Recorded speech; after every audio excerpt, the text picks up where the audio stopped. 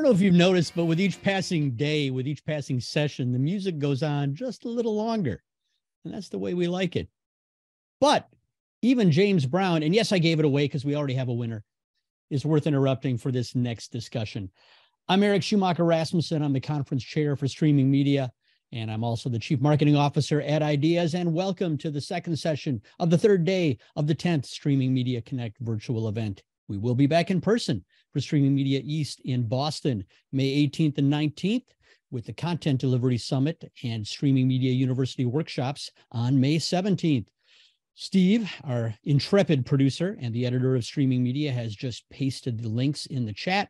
So you can check out those events after the discussion, of course. Uh, and uh, the programs for both of those events will be going online very soon as well. The sooner you register, the better deal you can get. So check that out soon. Before we jump into our discussion, a couple of housekeeping notes. Y'all know we've got the name that tune thing going on. We already have a winner for this session. Assuming that winner sticks around until the end, you must be present to win that $50 Amazon gift card you get for correctly identifying the name uh, of the artist and the song, both uh, first in the chat. You may notice that there are subtitles or captions running across the bottom of your screen. If that's the case and you don't want them there, just go to the bottom of your Zoom screen and click hide captions, and that will turn them off. Finally, all of these sessions from this week and previous streaming media events are available on our YouTube channel.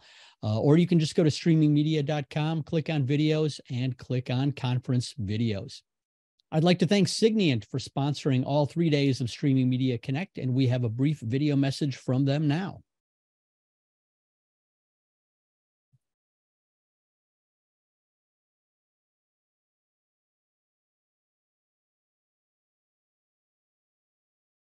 Wherever content needs to flow, the Signiant platform can move any size file over any IP network at speeds that can be up to 100 times faster than traditional transfer methods. More than 50,000 businesses use the Signiant platform to send and share files, automate movement of data between systems, exchange content with global partners, and move content to and from the cloud. The Signiant platform gives you the power to operate at the speed you need to run your business. And I'd also like to thank Applicaster for sponsoring this session. And in fact, Applicaster's Jonathan Laor will be joining the panel, which will be led by the also intrepid Evan Shapiro. If you follow digital media at all on LinkedIn, you know that Evan is one of the voices that is absolutely crucial to understanding both the big picture and the details. And so, with that, I'm just going to turn the mic and the camera over to him. Evan, take it away. Thanks so much, Eric. Thanks for having me today. Uh, I, my panelists will turn on their cameras and mics as well, I'll introduce them really quickly. Um, today, uh, I don't know how they're lined up on your screen, but they're going clockwise for me this way. Matt Farina is the Senior Vice President of Content Distri- Distribution at NBC Universal. And we'll talk about what he get, uh, does on a daily basis in a little bit. Amanda Lotz is a brilliant author, consultant, professor at um, the uh, Research Center in Brisbane, uh, Australia. And her most recent book, uh, Media Disrupted, is a must read. It kind of tracks why we are where we are today, not kind of, it exactly tracks why we are where we are today. Philippe Guelton, uh, who is the chief revenue officer for Chicken Soup uh, for the Soul Entertainment and Crackle uh, and a bunch of other uh, properties over there. I'm going to ask him what a chief revenue officer does in this moment of time in media. I think we're all open to that. Jonathan Laor, as previously mentioned, is the CEO, founder, and president of Applicaster, the only no low code platform uh, for creating and launching and managing your apps on multiple uh, devices and tech stacks. And uh, Smriti Sharma, who's the head of consumer insights at Publishers Clearinghouse. Um, and um, she and I worked together on a number of different uh, surveys and white papers around the minds of the modern streaming consumer uh, in the last six months. And a lot of panels will focus on the how the company is approaching the, the moment in time that media is having right now. Um, but just for a, a, couple of seconds i want to spend some time and look at some of the results of the surveys um, that publishers clearinghouse and i have done um, over the last six months with regards specifically on how consumers see the streaming market right now um, and I think w- one of the things that's most interesting is how many people are willing still at this moment in time to pay for content. we talk about fast and free and AVOD uh, and a number of other inputs, but and especially younger people, 64% of people under the age of 45 are willing to pay for their content. Even over 55, where it starts to go down for a number of different reasons, 50 near 50% are willing to pay. On the economic standpoint, the more money a household has um, right now, they're they are more willing to pay for content. Um, but even at the lower end of the economic scale, for households with $35,000 or less in income, 48% say they're still willing to pay for certain content. And then when we ask them, uh, these consumers, so this is based on uh, 19,000 surveys um, last fall. This is based on 27,000 respondents um, this past January. We asked how consumers want their media. And this really deals with the moment in time that uh, streaming television is going through. 31% say they want free with max ads or fast, I guess we would call it. 31% say they want paid with no ads. So the pure Netflix model. And some say, uh, you know, a mix of both. And then when you ask them further what they are going to do in the year ahead with regards to mixing pay and free and ads and subscriptions, 36 say pay less and get more ads, 23% say pay more and get uh, less ads, and then 41% say depends depends on what mood I'm in, the content, the platform. Um, and then taking this a step further, we asked, what's your intention with your subscription media over the year ahead? Only 7%, and this is for video, audio, gaming, news, um, kids programming. Um, only 7% of all consumers out of 27,000 asked said that they would stick with the current slate of subscription services they have right now, with the rest giving some sort of I'm going to see what happens on a month by month basis. I'm going to cut back to the bare minimum, probably for economic reasons. I'm going to subscribe to less and then switch as needed. And then lastly, just in case you're thinking, all right, well, I'll just change the password settings on my service and force people to subscribe to more, and not share with their kids and family.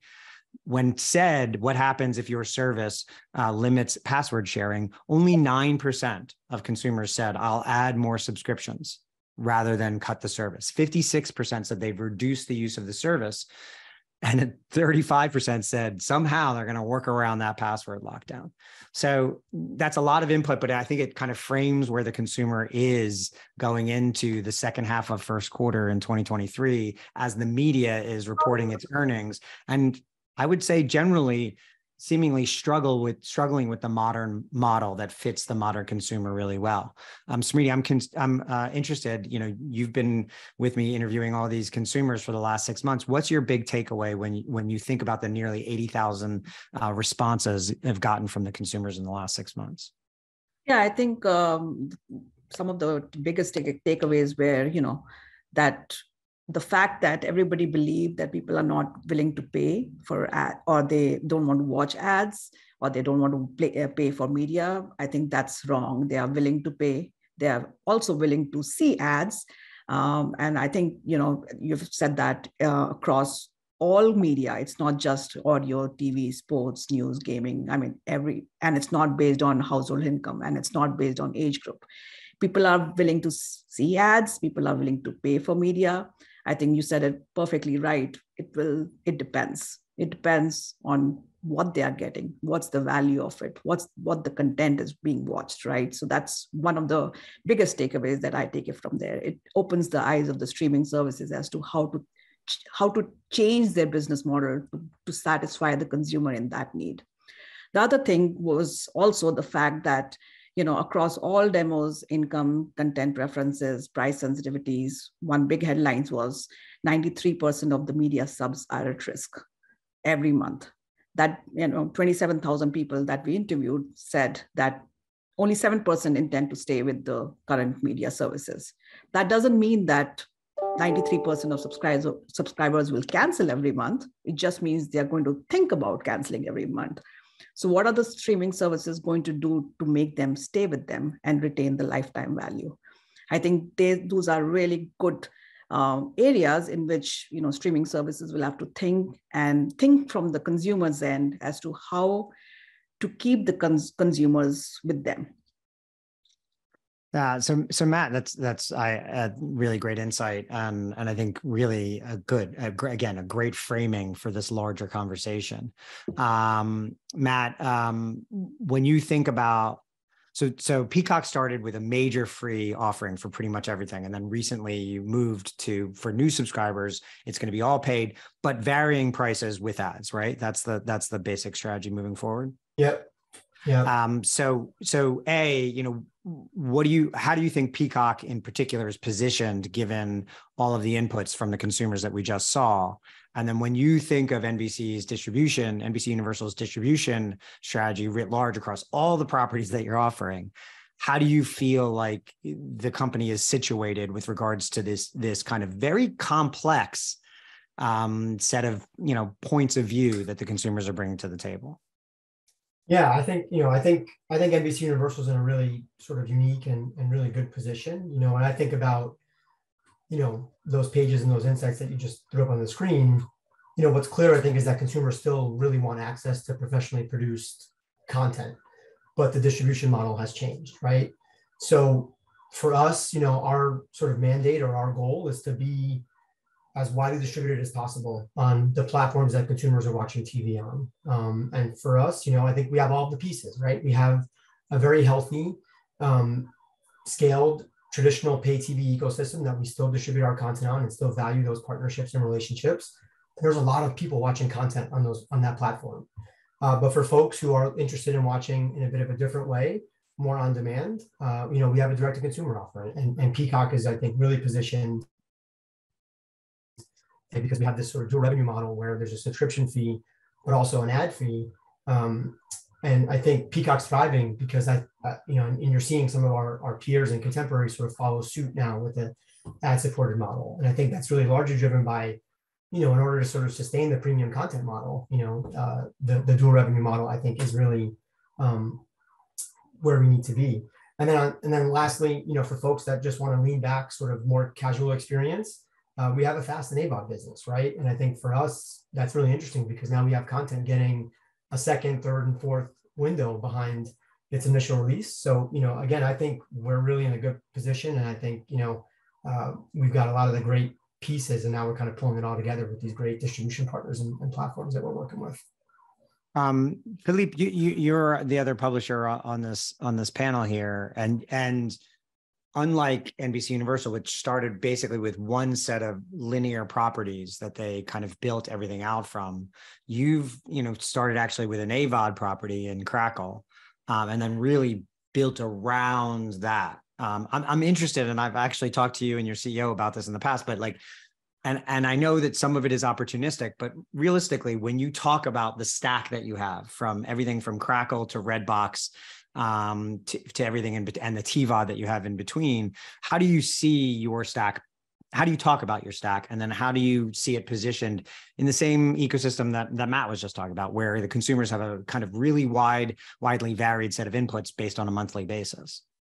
Yeah, I think the way we talk about it is really all those consumer touch points that we have and providing viewers uh, options uh, to watch content in many different ways, different formats, um, different times, at different prices as well, so that they can choose uh, when and where to watch Avatar, for example. You know, it will come soon on our DVD uh, rental business, and then on our TVOD uh, platform, and then you know.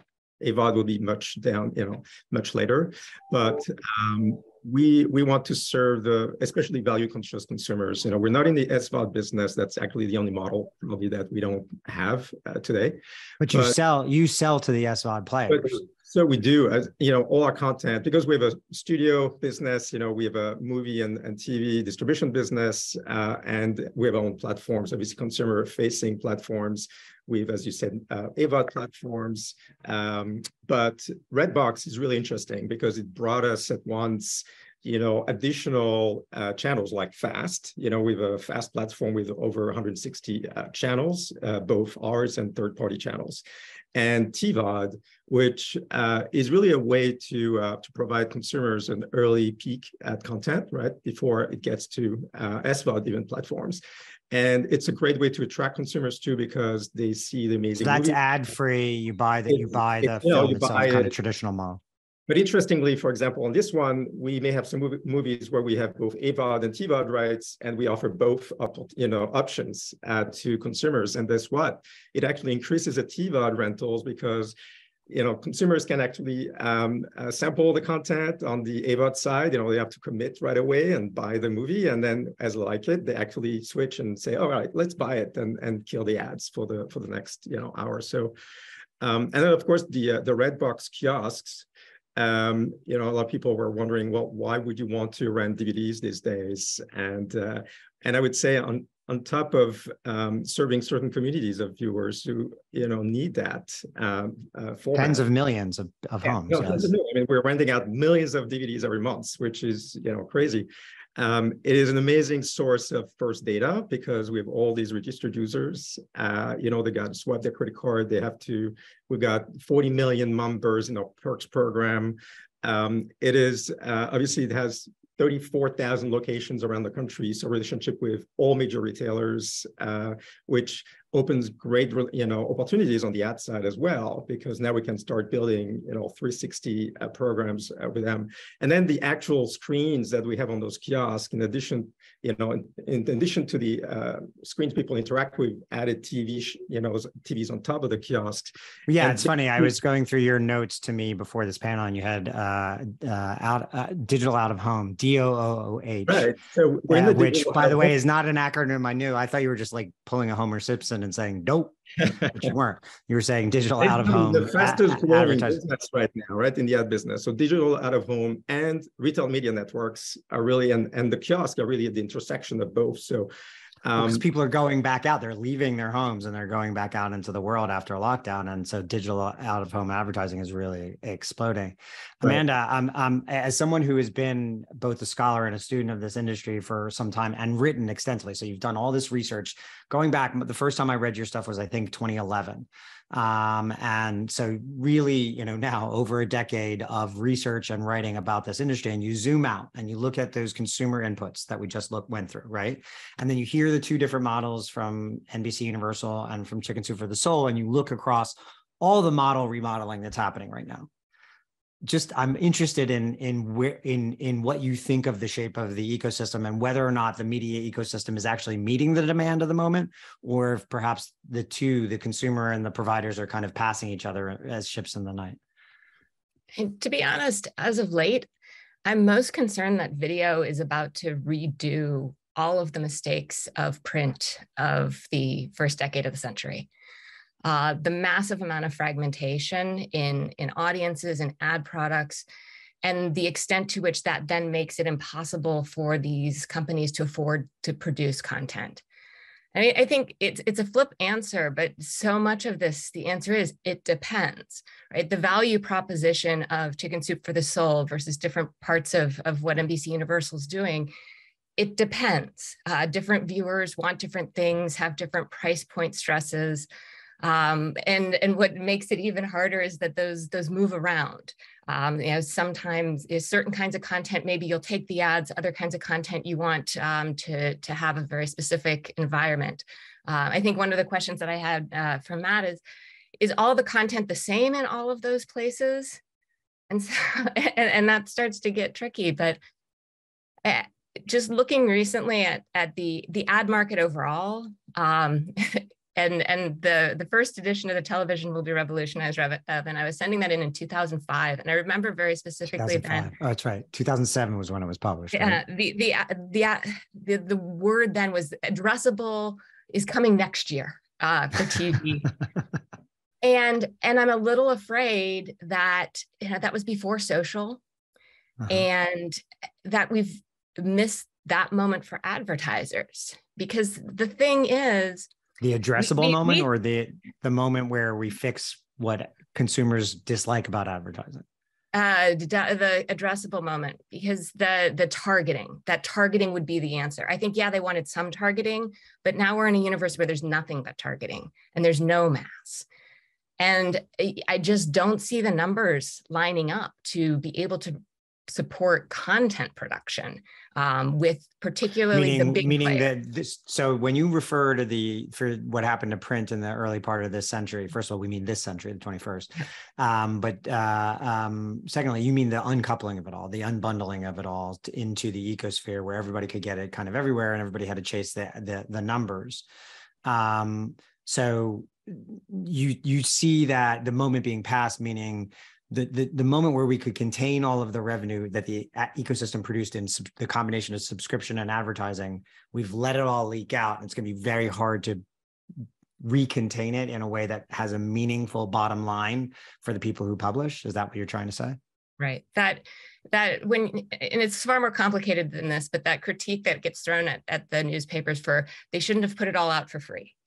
Uh, and I think with with the pivot to video yeah. or with what's happening that's in video, what a lot of people are doing now. Yeah, you you can do that with your catalog, but that to create an appetite for professionally produced content for free or only ads because the ad dollars are not what they were going they're not but to be fair hasn't youtube been doing that for for some time and I, I do want to turn this to jonathan who who so so where Amanda kind of has the the, the real bird's eye view because she's looking at it without any kind of uh, affiliation with a, a, publisher or platform and doing it from an academic standpoint. Jonathan is in it with a bunch of different players in the ecosystem building apps for them. And he does have a vested interest in their success. So I think you share some of the concerns that Amanda is bringing up. Is that true, Jonathan? Yeah, 100%. I think that the concept of mass is key here because at the end of the day, we're talking about high quality content because YouTube has the, you know, the two ends, right? The end of the, the creator content, which doesn't necessarily mean it's low quality, but it's normally low cost to produce. So it can sustain itself on a more incremental revenue model versus studio productions that are expensive um, that need to to to amount to some kind of bottom line indeed and and with programmatic ads or targeted ads it's very hard um, unless you're the extra large, right? So so Matt has YouTube. The, well, YouTube, but I, am I'm, I'm imagining even Matt sits at, at you know at, at, that point where he can say, okay, this is meaningful to us. This actually can propel a business. But our customers are normally kind of large, medium, small, so they could come from the size of a sports team, even if it's a big sports team, or a or a or a yoga service of of what whatnot or, or like a, or a print organization who does a lot of video print, you know the independent of the uk is a customer of ours yep. and we have and we have so it's a well-known national brand and we have you know some of the disney channels are on our and it's very hard to get that mass so then you really have to engage in other models uh, in order to, to and in those cases you're you're suggesting to lean into models that have the consumer driving so either through through subscription or other kinds of purchases this the subscriber or the user is really driving the economics versus the eyeballs and the impressions because there's the combination of you don't necessarily have enough scale to compete but then on the flip side you're you're uh, disturbing the experience for the consumers you do have and therefore threatening that as well. Is that part of the point of view that you're bringing to well, the that, table that, that could be a solution to the problem. I don't think it's the only one. I think that you can also lean deeper into the eyeball model and be more targeted in your sales, more uh, deliberate in how you sell your audience. So you have to categorize it in a in a good way, package it, and figure out where who would pay a premium for this kind of uh, audience or this kind of content and then those are matches that that work well. I think other ways are to find different types of commercial partnerships. Uh, very much like um, you know i think uh, when philip was when philip was talking about selling the content to an aggregator that has been the model on cable for a very long time. So big channels like the viacom channels have made you know they made their fame and fortune by selling the bundle to cable companies. And when that model started to break up. And to Amanda's point, TV Everywhere tried to slow this down. Uh, models of authenticated with cable that tried to slow it down from a technology vantage point. We support all those models. Um, but it wasn't effective enough. It was too hard for the users to engage with. It didn't create the masses. The TV uh, executives became antsy that they're losing the audience and they have to be there because of YouTube and so forth. And also, Google was very effective because they gave them huge minimum guarantees, a la my idea of find ways that aren't reliant on eyeballs. So they kind of. So when you talk about brand partnerships, you're talking about marketing partnerships or or larger upfront guarantees that kind of, you know, th- there's a DoorDash Roku partnership that just uh, I don't know exactly what the economics of it are, but I imagine there's some kind of co-marketing uh, partnership that's built into that as a way to make get both money, both parties more users for a longer period of time and generate more income for both. Um, Smriti, I do want to ask you a question about, so, so Amanda mentioned something about targeting. We actually had one question about personalization of ads in our survey. I didn't pull a slide up, um, but it, but it showed that you know the the overwhelming majority of users either didn't care about personalization or actually liked personalization is that am i getting that data correct correct? Yeah, absolutely. That was very shocking, at least for the fact that you know every company has invested so much in last few years about personalization of things that they do. But you know, when we did the study, 54% of the people really didn't care about personalization of ads. At all, they, had no preference. At all. Yes.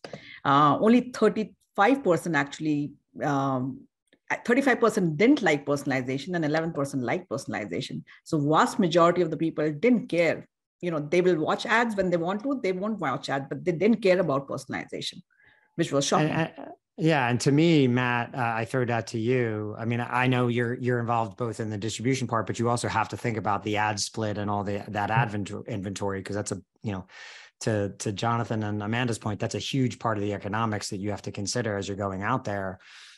Do, when you think about you know obviously personalization and programmatic not necessarily the same thing but when you think about person personalization and the vast majority 60 plus percent either liking personalized ads or not caring one way or the, the other. Do you go beyond that and say okay so how do we how do we further the experience to personalize it for the consumer? But then also are there other new commerce or other economic benefits on the other side of that? Yeah i think that's yeah. So i think on the on the targeting piece you know that is precision targeting is a, is a big sort of part of our offering, but the other part of the offering is really scale, right? Like we're available in all of these households, whether it's on traditional televisions, connected devices, phones, tablets, you know, you kind of name it, and that's that's it. So that's a big part of our offering, right? Um, and you know, the other piece is making it easier for buyers to sort of transact on our inventory. So there's you know a lot that goes into it um, on sort of the offering piece, but on the personalization side, in addition to like the data and the catering an ad to an individual user, there's all these sort of enhancements or improvements where we can use the opportunity from an advertising perspective to delight the consumer, right? Things like pause ads or things like, um, you know, where, where we can really sort of. What's be, a pause ad? Uh, so if you if you happen to pause your your TV and want to go get a drink or something like in, in that background, you sort of get uh, a branded experience slate, if you will, uh, which is uh, uh, which is an ad an ad spot effectively and then when you sort of unpause you get back into well that's i mean that's an interesting new technique to basically avoid the disintermediation of advertising. So you're i've hit pause for whatever reason because i'm answering a phone call or i'm getting yep. something from the fridge. Yeah and then i mean it's kind of like the first screen experience. Samsung t- takes a tremendous amount of uh, advantage of that. Yep. i don't think roku takes nearly enough advantage of it to be blunt. I think there's a tremendous amount of real estate that's unsold there for that first screen. Um, but you're using the pause screen as a as a, an interesting way to add dollars to, and it's a personalized ad. So it's, yeah. it's, uh, it tends to fit the environment that the consumer is watching it too. Yeah. And everything sort of around, you know, and then you sort of think about like scarcity, you know, the, the traditional television model has a lot of advertising per hour, you know, could we do less on, on a peacock experience to really... do less, charge more? Yeah, yeah. That's a, so there, there's a lot of that. And then in terms of like just new distribution models in general, you know, thinking outside of video, you know, we're focused on uh, commerce as a, as a product where we can sort of add a shopping experience directly in uh, in line with the video itself, which is proving to be a pretty successful venture for us so far. We've got a partnership with Anzu, which is a gaming company where we're doing in-game ads now, which is really interesting for us. Um, so I think we're, we're really looking to innovate in, in this space quite a bit for sure. So yes, going beyond sort of the, the traditional, you know, targeting or personalization. And, and Philippe, you not only sell across all your own platforms, you rep other third-party smaller platforms than yourself. Is that that's right? Yeah. Yeah, that's correct. And that answers the, the, the question about scale. Because if you're not one of the top five or six media groups, um, you do suffer from from lack of scale. Uh, including for programmatic sales, you know, which seems very easy. You connect the pipe and you think you're going to get all that revenue, but no, uh, there's absolutely, uh, you know, a scale issue. Um, and so we have kind of led the, uh, the, the, the group of independents of you know independent streamers and create this uh, alliance of we're about 16 now 16 companies uh, that we work with and and help um, group together their their supply and and go to clients and i would say you know what what is the key for us is uh, actually not programmatic or addressable TV, which is very important, obviously, but it's our direct sales efforts and the ability to sell beyond just uh, the, the programmatic pipes, um, doing uh, brand integrations into content, which is uh, really solve some one of the issue of you know producing original content for for a company that is not a multi-billion dollar media group. Um, and uh, and sponsorships and building really much closer relationships with with brands, uh, with with agencies, and and we've seen a lot of success with that, and, and that translates in, into incre- you know, incremental media spend as well. Um, and the more we can um, share these capabilities with other independent players, you know, the bigger we are and, and stronger we are together. And and and um, this is for you and Matt. I know the answer for Matt because he they own local affiliates and they have you know local presence around the, the country. Do you look? You can get down to the ISP level uh, uh, addressable ads. Yeah, so you can you can localize ads by DMA and by zip code. Oh, yeah, uh, yeah, um, which I, I mean, I think there's this there there's this major so 2024 is going to be a major year for the television ecosystem. Money is going to move dramatically out of linear and other areas into CTV. And one of the major drivers of it is going to be the national election in 2024. The, the Olympics in Paris in 2024 is going to be huge for NBC. Um, and it's going to drive a tremendous amount of revenue across the ecosystem. But the, the, the presidential election in the US, which is going to build, throw a trillion dollars to the ecosystem, most of it local is really going to force flood the pipes in a way that I think is going to be important. I think useful. Ultimately, it's going to flush a lot of the garbage out of there as well. Um, but as we rebuild this ecosystem, Rachel Dreyfus has a question in the Q and A, and and I it's perfectly for uh, built for Amanda and Jonathan. So I'll give it to Amanda first, which is, can you compare how consumer value in the streaming model today, or as it's going, compares to that in the cable TV bundle model. So how does the how does the consumer value, the consumer proposition compare between those two, um, especially as as uh, SVOD players are stacking up all these services, like we talked about earlier, where do you where do you see the consumer fitting, or at least how do how do the two compare themselves as far as a value proposition for the consumer? It, the, the answer is very different whether you're looking at it from a consumer versus an industry perspective. And I think a lot of the pressure that's been coming from Wall Street has been assuming that we can recreate what we had with multi-channel. But the truth is that that consumer situation was dreadful. Oh, you know, the consumer was hostage, the, and, and it happened no other place on earth. Um, and the I and and it Meaning was no other territory had the same model, basically. No, no, there was competition, um, and and you didn't. The choice wasn't pay a whole bunch of money for one thing or nothing right? And so I think we need to recognize that that those were incredible days for the industry and those who were able to make a lot of bank on them, you know, good for you. But to try to think that that is something that we're ever going back to is, is to mistake reality. And so the fact that consumers can move around and have so many different services that I, I know the frame is often in terms of competition, but there's a lot of complementarity as well. And, and that ability. What does that word mean? I've, I've never uh, heard of that word. Before. They go together, right? Got it. Like uh, you get out of the, or yeah, I know, and you, complementary. Complementary. Okay, like I'm it complements it, right? So yeah, yeah, Netflix right. with the global content complements a local SVOD. Let's say if you're right, in a right. So those two America. things are compatible. So they they serve as your as the consumer's own bundle basically. Right. And or so at this point, maybe broadcasting, I know that a lot of sports has moved off in the US, but broadcasting TV is is sports. And if that's where you if that's what you want, you can get that there. If you want your drama, streaming services are good for that. Right. So we it's not one or the other. It's nothing's but not- do you and I will ask you this, and I'll actually uh, think about this as Jonathan answers this. Is there a room for a new bundle, though? I mean, on the one hand, it was terrible for the consumer. On the other hand, it was great because I knew all of it was available for me all of the time. And yeah, I, the, the the cost went through the roof and got unreasonable. And there's many different reasons for that, especially since you're forced to take all these channels as, as a group.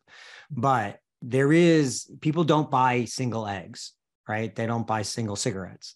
They buy, you know, a dozen eggs and a carton of cigarettes. And there's a reason for that. There's an economy of scale, but there's also the convenience factor. So, Jonathan, do you see us being able to kind of put some of those eggs back in the basket to ruin that terrible metaphor um, and and and figure out a way that, that the, the consumer gets the economies of scale and and it's really again the ease of use. I think there's a there's i think the consumer is realizing how difficult what a pain in the ass choice act ultimate infinite choice is. And there's a ton of science that says the more choices they have the, the fewer the more choices a consumer has the few choices the fewer choices they actually make. So jonathan do you see an assemblage? I mean you work with a lot of smaller players like you said would a bundle of those services at a lower cost and ease of use work for consumers? Or are we oh, to to amanda's point is that genie completely out of the bottle? Well first of all there are a bunch of bundles today so it, it definitely exists.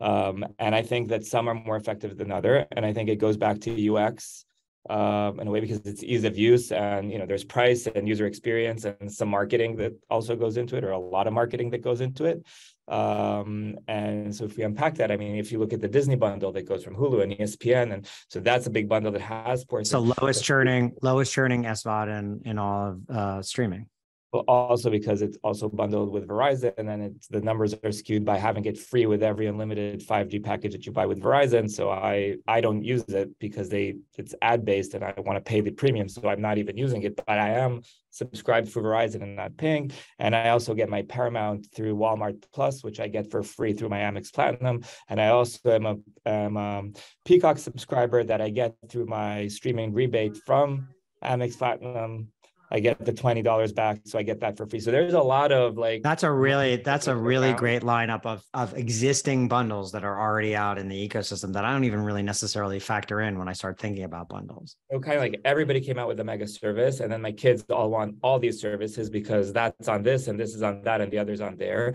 And I don't love this model, but the only one that I'm actually really paying real people dollar for is Netflix because it's the center of the it's the de facto everybody has to have it thing still. Uh, and then all the others i i kind of get from free from all around except for hulu which i pay extra for. So there's a lot of bundling happening and also in our customer base um, there are passport services right? And tv everywhere was kind of a first passport service here in the us and i'm assuming that because of the time most of our audience is in the us but if we have audience in europe that's interested in what's happening there australia.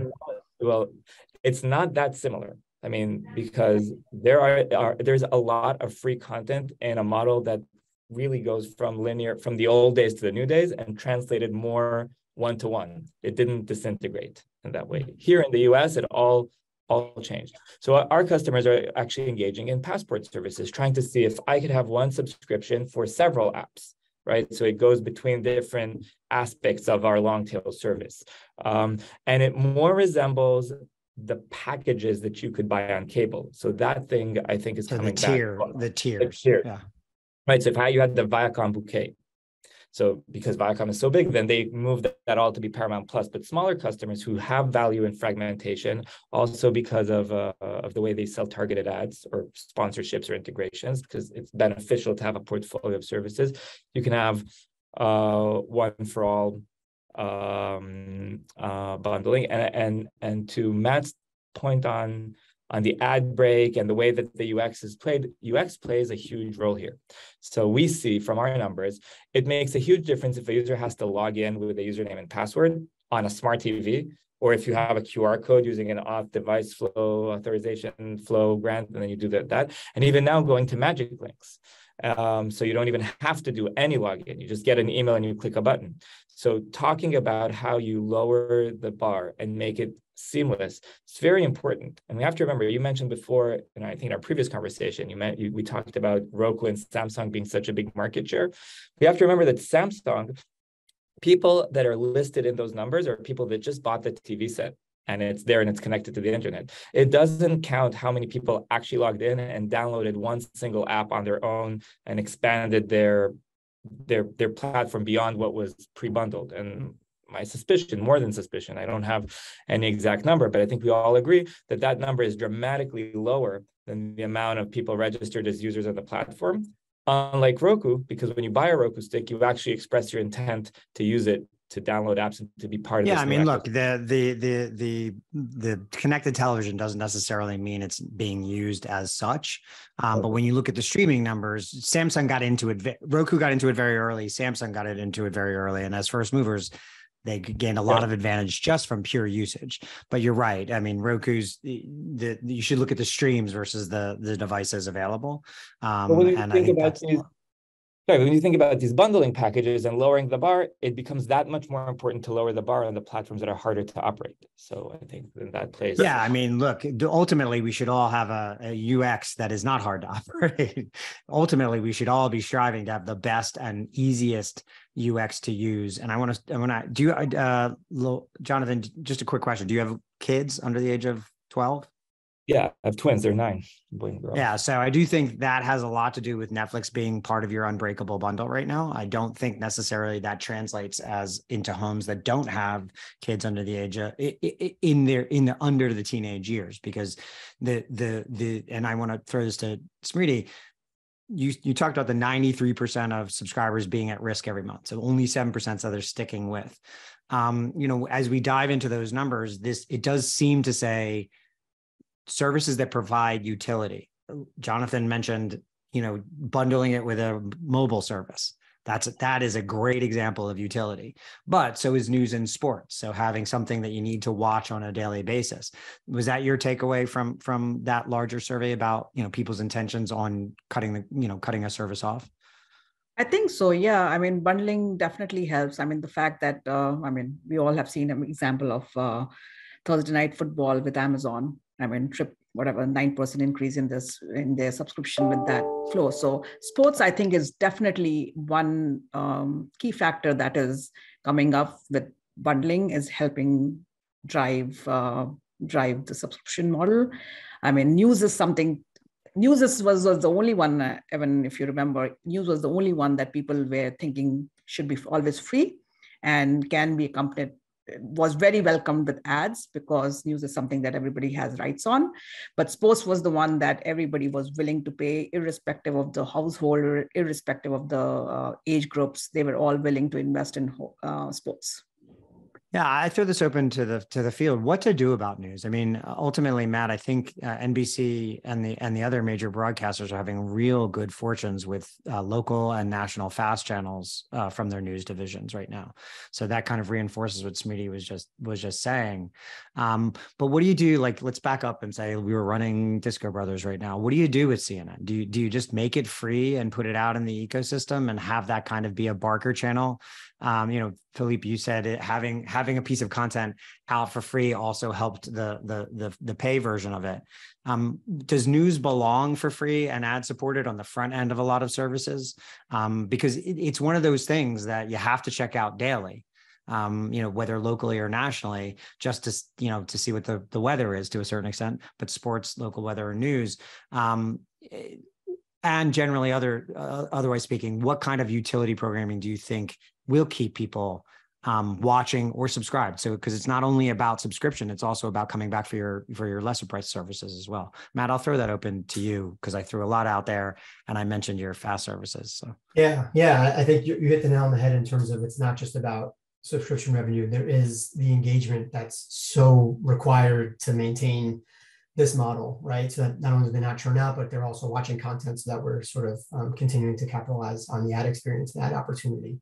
Um, you know, news, like you mentioned, we've got uh, NBC News now, which is which is really our, our sort of move into sort of digital native um, you know, 24 seven uh, news streaming content. And that's free. That that that's free and, and yep. streamed via fast. Yeah. Yeah. So it's a, it's effectively a fast channel. Um, so, you know, that's been, and that lives inside Peacock and lives on other fast channel, yep. fast platforms as well. Platforms. Yep. So we've distributed that pretty widely. Um, so even, even now post the change in the pay model, if consumers come to Peacock, they'll they'll be able to get NBC News now for free, and then look at their paywall for the rest of the stuff. Yeah, yeah. That to me feels like a really good gateway product, you know, to, to kind of ease the consumer in for something you know that they want and that they're fine watching ads in and it is scalable. And then you ease them into the paywall later. Philippe, I'm, I'm curious as to your point of view on yeah, that we do well, have you don't necessarily yeah, what? we have news uh, channels on the on the Redbox uh, FAST platform, for example. I don't think necessarily consumers are downloading the the Redbox app to watch local news, but it is a service, right? It's something that they can uh, they can consume. I mean, to to come back to the to the bundle conversation, I think TV OEMs are for consumers a new bundling mechanism, right? Because it really depends which TV you buy, right? If you buy whatever brand of TV, or it could be even like a Roku TV now, but um, you're gonna you're gonna find a, a built-in offering uh, for free. I mean, it's like having cable for free, and and I think it empowers the consumers to actually then select uh, what they want to pay for uh, because they already have so much uh, available for free, and um, and so that is important for people like you know uh, companies like us because they actually are more likely to need our content uh, because they you know of the content war gardens they may not have access to some of the big studios content. Uh, so that's in the, in the, an opportunity for for independent uh, programmers and, and streamers to have their content uh, distributed, but also promoted. Um, and I think you're going to see more and more of them producing original uh, content and becoming the fast the fast platforms. The fast, yeah, and uh, or AVOD, right? Uh, because Vizio, Samsung, they're all in the AVOD business as well. Isn't that cost prohibitive? Let me ask you a question. Don't you find that cost prohibitive? I mean, you look at Roku's earnings call yesterday. Mm-hmm. Uh, and their revenue was flat on quarter on quarter, but up for the year, up 20% for the year. But their mm-hmm. net income dropped like a stone, almost entirely driven by content costs. So it is, it, but I mean, look at the SVOD platforms and how much money they're losing. Yeah, so, yeah. yeah, the cost of content is a problematic for everyone in the ecosystem. And I think uh, you you got to be nimble. You, you definitely. Do you see that shifting as the econ as as Amanda talks about the the unbundling of this ecosystem and and kind of leaking out of a lot of the uh, economic underpinning of it? Do you see the cost per hour of content reversing itself in the because it's really been astronomically ballooning. I think it's up more than a thousand, maybe close to fifteen hundred or two thousand percent since House of Cards. Well, the, so if you the, just look back to 20 to 12 and you look at the cost per hour of content that we watch, it's just crazy astronomical now. Do you see that now that kind of things are reshaping themselves, the the cost of hour per content going the other way? And you're kind of uniquely situated to have an opinion on this. I mean, you know, our cost of content is so low compared to, um, you know, the the, the big biggest. But think about it as a as an ecosystem wide, what you're selling to other third party because you make high end premium stuff that you do sell to Netflix and some of the other premium. Yeah, we sell to Disney Plus. We, we sell to uh, uh, Prime, and and uh, and so that's uh, one of. Do you see the Do you see the economics changing on scripted and, and long form premium content? Back. There's no question that they're coming back. Uh, you know, they're shutting down series and uh, they're becoming, not, I wouldn't call it nimble, but they're, they're definitely uh, spending less billions of dollars in, in content. And is and, that money coming out of the ecosystem or is it redirecting into things like sports rights?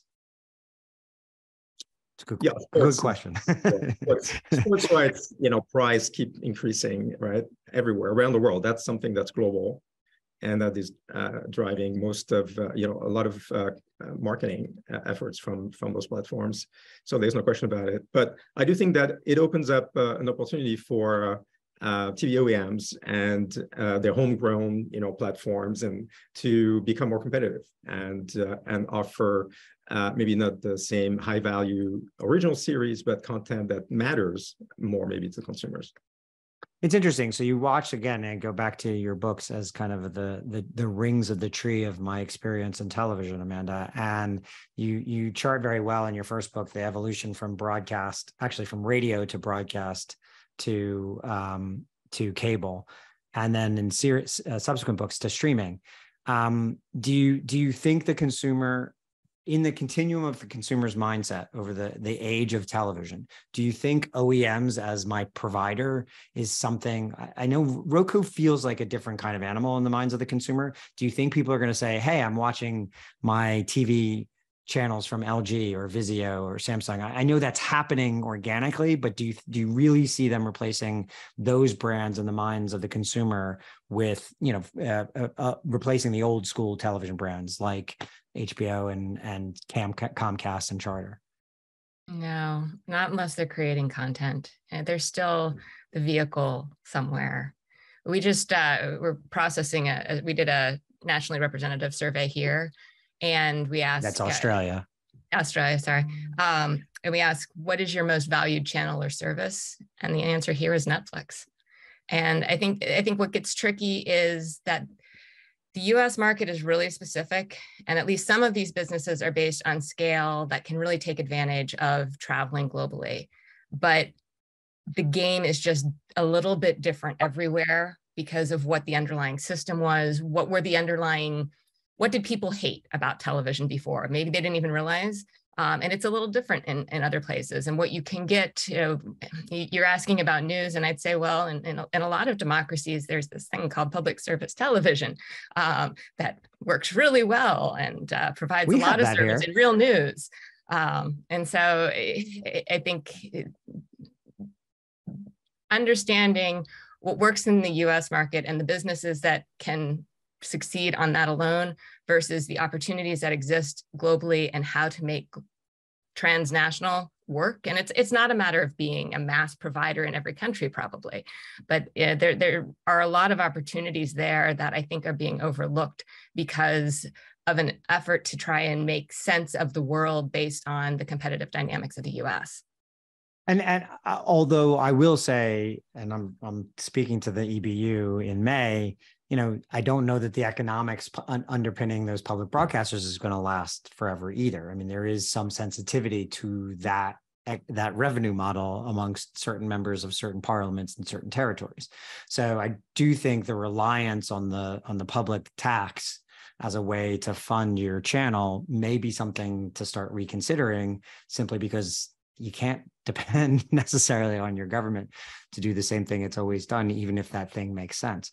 Um, Smriti, um, my question to you is, you know, when you think about the mind of the consumer, and, and we did ask them across not just video, but audio and gaming and other channels as well, are there other forms of bundles? I mean, Jonathan mentioned bundling mobile and video and Amex bills, you know, uh, and video, and and those seem to have worked really well from a retention standpoint. I don't know how well they work from an economic standpoint, but forgetting, pretend you don't have to worry about the economics. You're just a packager.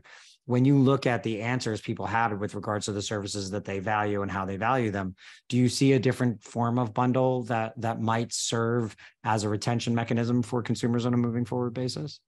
I think the two other areas that came out across uh, apart from sports was gaming and music. I mean, music is something that ties the younger audience very well. And that's something, you know, I mean, I know Apple is working on this. So, you know, that's definitely an area that can bind and have a long term uh, value for the customer and more of younger generation uh, leading towards it. Yeah, and and having worked on a couple of music fast channels with Warner Music Group, I can say just based on the data that music is actually a really successful genre in fast. Uh, I'm curious, Matt and and Philippe, whether you've looked into cross partnerships or content based on you know lifestyle products like music or gaming. I know Matt, you mentioned you're getting into uh, a bit of the gaming business, but just for kind of a future looking audience standpoint, when you look at Gen Y and especially Gen Z and Gen A, do you do you see yourself getting into these genres not just as an opportunity to to to make money off of, but also as a kind of hey, can we recruit these new audiences into our ecosystem that we don't yet have? I'll go to Philippe first. Um, yeah, I mean, we have also fast channels uh, in the in the music uh, category, certainly. Um, I can't say that it's been a, a, strong focus for us. I mean, we're still very much in movies and TV TV shows, but it is interesting, I think, to see who we can partner with, uh, certainly, and and and co-market, you know, do co-marketing uh, programs, and we have we have a few of those, not necessarily with gaming companies today, but we are exploring that. So that thing that. Uh, let me ask you a question because this came up. Faiz uh, uh, Habib asked in, in the Q and A. You because you look across uh, not only a slate of fast channels, but you also look uh, across a slate of uh, partner channels who you sell, and then you have your own slate of channels. Do you see a migration within the the free or even TVOD ecosystem but let's concentrate on free for a second. Away from what was at first kind of a, a, a, land grab or a gold rush to get real estate on fast and wasn't necessarily always the best quality to an ecosystem that seems a little bit more or, or appreciably more focused on quality absolutely. Yeah, yeah, for sure. And i think it comes from the fact that the big studios actually now creating fast channels. And even those who um, swore a year ago they would never ever put Netflix, some of the best shows on, on a free channel, and they are. and they are now syndicating those channels and not only to the big, big platform, but they're looking to be everywhere. So I think there's definitely an opportunity for fast platforms to keep upgrading the, the quality of the content. And, and you are seeing the small early players even who um, I, I, wouldn't say got lucky, but we were early entrants, you know, years ago we were getting kicked out uh, because the the quality. They just uh, can't keep up in the quality anymore. Jonathan, that is that your your point of view, or is, is that what you're seeing across the spectrum as well? Kind of this yeah. migration towards a higher quality, kind of pound for pound.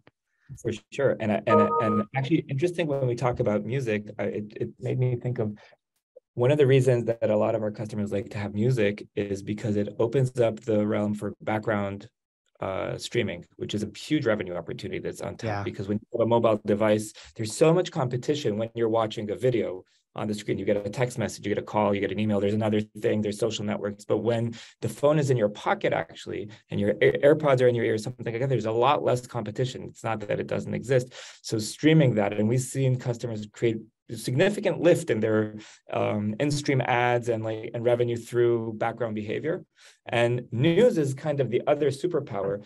It actually all ties into the question on bundling because there was this big trend. We have broadcasters that had sports news and entertainment, and they wanted to break it out because they wanted right. to write right. UX for each one. Uh, NBC did that for you know, NBC News, NBC Sports, and um, and NBC.com. They were different properties sports we all know like the behavior it's very expensive it brings a lift and if you're really good at what you do you keep your users after the olympics or after the world cup or whatever. But news and music are super interesting because music does that background thing which increases engagement and news uh, increases retention because of the daily habit of it.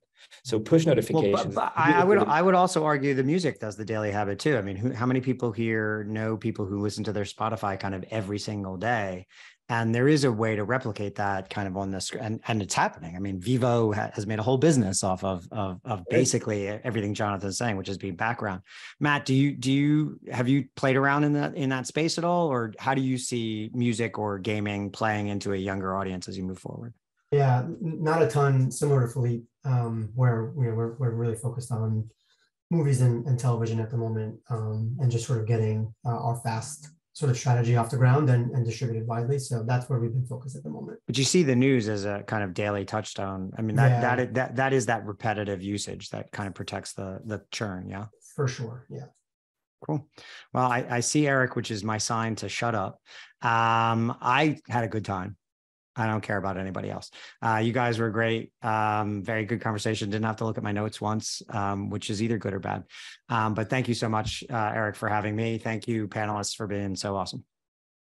And thanks thank for- you, Evan, and all the panelists. I think everyone had a good time. Uh, and it also thanks again to Signiant uh, for sponsoring all of Streaming Media Connect and Applicaster for sponsoring this session. Going back to name that tune, the music you heard at the beginning was James Brown's Soul Pride Parts One and Two. Luke Wu nailed it right away. Nice job, Luke. And watch your email for your Amazon gift card later in the week. We'll be back at 1 p.m. Eastern when Andy Howard will be joined by speakers from LinkedIn, EY, IBM, and Lockheed Martin to talk about moving beyond corporate communications and training. See you then.